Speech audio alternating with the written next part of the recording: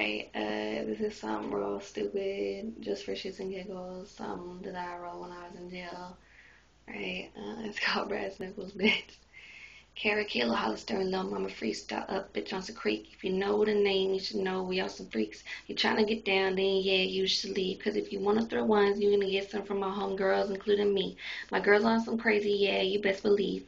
If you doubt us, then you were about to see. The realest bitches in your life are my girls and me. And if you want to be my friend, then you best not deceive. Unless you want me to introduce my fist to your teeth. If you think I look too innocent for that, then I can show you my piece. But I ain't a punk, so we about to get that game deep. Brass knuckles, bitch.